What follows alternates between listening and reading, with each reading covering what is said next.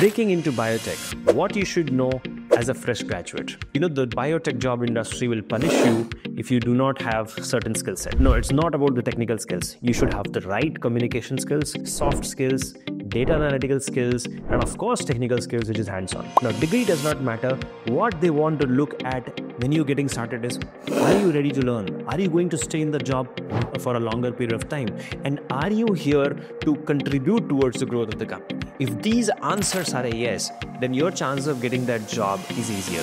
But your trick, your skill set, your art should be how do you convince the prospective employer that you are here for a long term, you are here to learn, you are here to contribute, and once you have done that, getting a job as a graduate or postgraduate is easy. Now, remember one thing your cover letter matters a lot. Learn to design a better cover letter and a better CV.